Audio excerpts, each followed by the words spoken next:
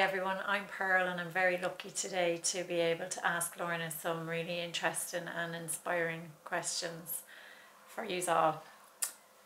So one thing that's asked very often is about God. And there's so many different names for God, like or what people consider God. It's not always necessarily the word God. It could be their higher power or they could be from various different religions and have different names for God. But they believe in something that is bigger than themselves. Well, the, the way I would answer that question is, you know, they are believing in something that is bigger than themselves, and that's God. And we call God by so many different names. And in one sense, um, lots of us, you know, were grasping onto that part of us, the spiritual part, and religion has played a huge part in that, but yet has damaged um, us all spiritually as well. You know, that we are saying, well, I don't belong to any religion, or, or I don't believe in God but I believe in something else that is bigger than myself or bigger than the universe. But yet we're all referring to, to God. You know, we call God by so many different names. You know, as you said, Pearl, there, you know, sometimes people will say, you know, the higher power, or they will say, I'm calling on the universe but you're calling on God spiritually because it is the spiritual part of you that you want to let free. You want that soul, that spark of light that God has given you. You want it to step forward. You're clinging, in a sense, to finding out who you are. So, uh, so are you saying, that, or do you feel that it's our human self that creates these divisions by even putting a name I, Yes, I, I think so because there is so many divisions there between religion and, and those that would say they're only spiritual. Um, and it's the human part that has put that there. But we've put it there because, you know, in a sense, we're, we're lost and in a sense we don't want to be ruled in, in that way. We want to believe freely in God. We want to believe that we do have a soul and that there are angels there and that our loved ones, when they die, you know, they go to heaven or, or to that special place in that in that way. So we're we're clinging on in, in a sense of, you know, well, if I say and I don't use the word God, or I don't use the, the word Lord, or, or I don't use the word Jesus, uh, or I don't use the word Allah. You know, there's so many names for God. You know, sometimes we just call on God and say, please help me. You know, spiritually we say that. But one thing I do love, and that is, you know, I had when I was writing um, the first book, Angels in My Hair, that was one thing that really kind of, you know, pulled at me. And, and I said to God, you know, what am I to call you? You know, what am I to call you? Because even myself not being able to read or anything, but and being isolated in one sense here in Ireland and, you know, not hearing much of the outside world. I already knew because God and the angels had already told me that there was such a big division in that way that people were starting to rise up. And I just said to God, Well, what'll I call you? And just what surprised me was God just said to me, Lorna, what do you call me? And I always remember being so surprised and, and I said, God, of course, like, you know, that way, why are you asking me? You should be telling me. Um, God, of course. And the thing is, God said, the word God is universal. It must have a deeper meaning to the word God than what we even realize. I think all of those words that we use for God, even when we're calling on the higher power, you know, or we're calling on the universe, or, or we're calling on the light, whatever way we call, you know, to grasp, you know, spirituality, to look for that help spiritually that we want in our lives. It's all connected to God. It's, to me, you know, that day was kind of, in a sense, blew my mind when God turned around and said, you know, what do I call him? And God is neither male nor female. I think people struggle with having like blind faith. Um, like I've noticed myself, even a lot of people, like they really want to have that divine experience, and nowadays they're the psychedelic kind of spiritual psychedelic craze maybe is starting um, and it's that people are really searching to connect definitively. But yet their ego maybe stands in the way or their like expectation of what it should be. So Yeah. like is there like is there a way that we can create that connection? Or like how can we see God as over and above and you not come together? Like rather than we're creating all these divisions and my God's better than your God, God, scenario yeah. Yeah. which is pointless if there's if he's re, or if it's really the one God It it is just the one the one God, you know, and in all of what you've said there, Pearl, there's there's so many answers and so many questions in, in what, what you've said and there is such a, a division. Um, and and people in the world today are you use the word and I know it means you know taking something that will help to give them a vision help them to believe in God help them to believe in spirituality help them to believe that they have have a soul.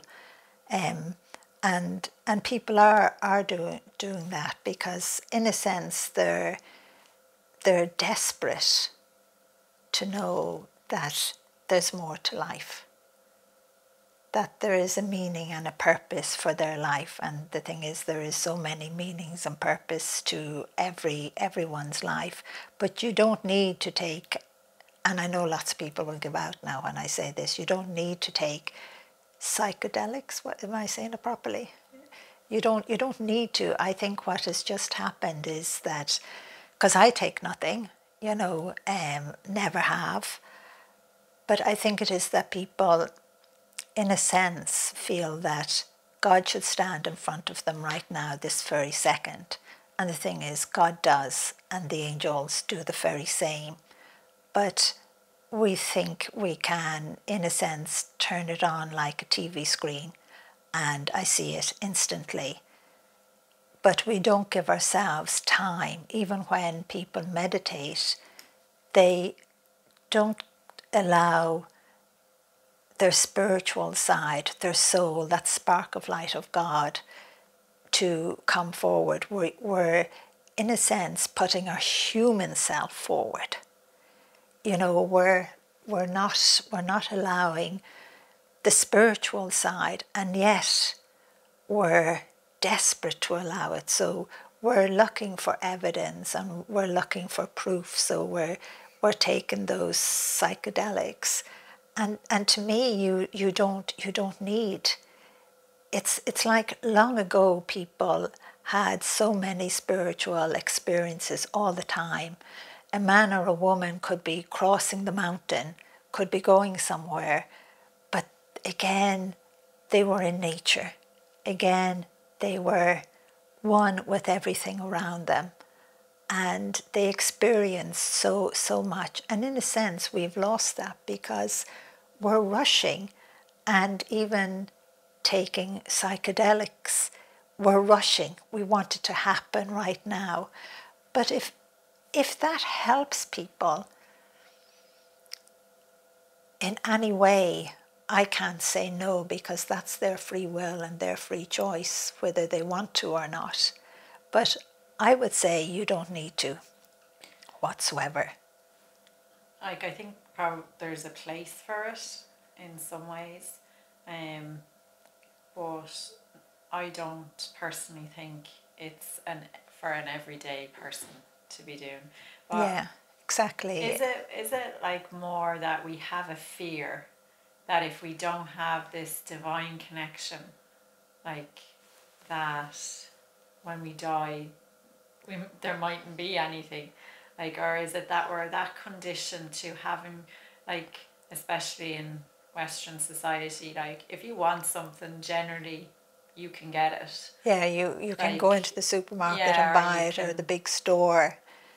Um so is that a bit of it that we're a lot of us fear having blind faith? Like we fear that if i don't have something if I don't see something or if I don't physically feel something that it's not there. But the, the thing is, it is, and I would say to you, don't have blind faith. Don't or do? See, I'm dyslexic, so the do and the don't don't quite go together for me. So when I say blind faith for myself is I believe in God. I always yeah. have. Yeah. I don't need to have experiences to believe. Yes. So to me, I have blind blind faith, faith. and I I think if everyone had blind faith, um, I think it would be much easier for us. But there's millions of people out there that that don't. But even there is some that have blind faith but doubt. And and in a sense they have blind faith, but they they want they want that proof, that experience, and yet that proof and that experience is being given to us every single day. Like sometimes I'm kind of, you know, I, I don't understand why people um, don't realize that. Like we're sitting here. You know, we're, we're human beings, we're two women, and we have a soul and I can see your guardian angel there with your with you. And but that's all the thing you can see that. I know so for other people but that's not the same because they can't see. see. but I I know everyone will be able to see. But we kind of have to take that next step. And I think that's what's happening in the world today. You know that's why people are taking psychedelics um, because they want to take that next step.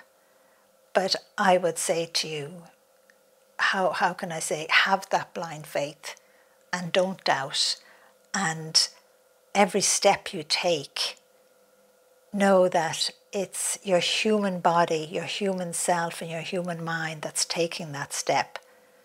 But your soul is taking that step with you you know, if, if you can put in your mind, in, in a sense, well, maybe I could, if I say it this way, I know people will give, give out, but if you could say the spiritual being is, is the image and the copy of you, and if you can, within your mind, your human self, every movement you make is not just a, a human movement. You have to allow your soul to move with your, your human body, you know, and allow it to step forward so that we don't have that. At the moment, we have this, what would you say, separateness, you know, or division. And we are striving so hard to to bring it together, but it's like we're we are in a rush, but we're tripping over ourselves. and I just just one one thing especially for for myself, and I guess I, I would just remind everyone, and that is, you know, God taught me everything out in nature. He didn't think, teach me, you know, in a classroom. It was in my everyday life, every step I take. You know, I, I remember, you know, walking with Archangel Michael one day and he just saying to me, you know, I, I don't know what age I was. I, I was always out roaming the fields or something like that or crossing a stream and, and he told me to look down at my feet. And I looked down at my feet and I remember smiling and laughing. I'm even smiling and laughing now. But I could see my soul foot because it was having the image of my human body and it moving with me. And I thought this was so funny that I had said to the Archangel Michael, you know, well, can can my soul foot, I put it in a funny way to him, you know, hurt, you know, because sometimes maybe a little stick would scrape off my ankle because we didn't wear trousers then, we were always in little dresses. And I always remember Archangel Michael, you know, laughing at me and saying, No, Lorna, your soul can feel no pain.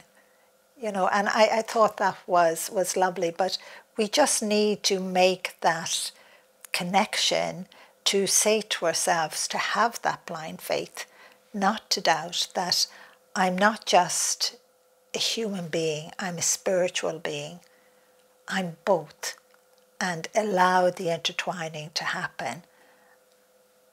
And keep on going in search. But I think, you know, in your everyday life, if you could be conscious of it, you know, say to yourself or remind yourself every day as often as you can, I'm not just a, a human being drinking this cup of tea my soul has lifted up this cup of tea with me, even though it's going, the liquid is going into my human body.